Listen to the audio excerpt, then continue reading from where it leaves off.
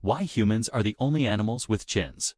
Look at your face for a second. Right below your mouth is a small forward-jetting bone, your chin. Now, here's the strange part. No other animal on Earth has one. Not apes, not Neanderthals, not even our closest evolutionary relatives. So why do we have chins? And nobody else does. First, let's clear up what a chin actually is. In anatomy, a true chin is called the mental eminence, a forward projection of the lower jaw. Most animals have a jaw that slopes backward or straight down. Humans are the only species where it sticks out. For a long time, scientists assumed the chin must have a purpose, stronger chewing, better speech. Structural support. Here's the twist. There's no clear functional advantage. Your chin doesn't make you chew better. It doesn't help you talk. And it's not stronger than other jaw shapes which makes it one of the biggest evolutionary mysteries of the human face.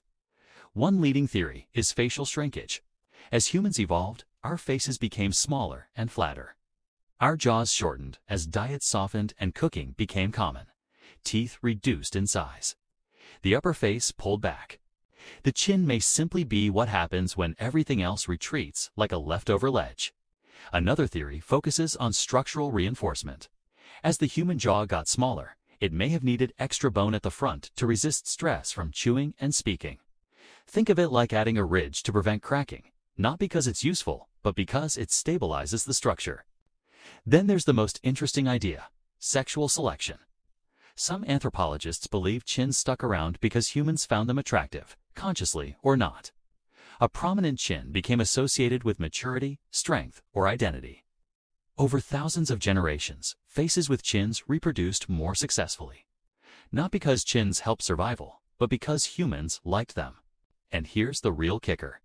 Even our extinct relatives didn't have them. Neanderthals had massive jaws, no chin.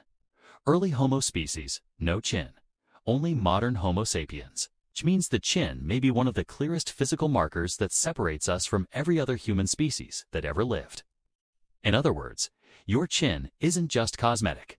It's a fossilized signature of modern humanity. And the fact that science still debates why it exists tells us something powerful about evolution. Not everything is optimized. Not everything has a clear purpose. Some traits survive simply because they happened and didn't get selected out. Your chin might be one of the most human things about you. Because it exists for no obvious reason at all.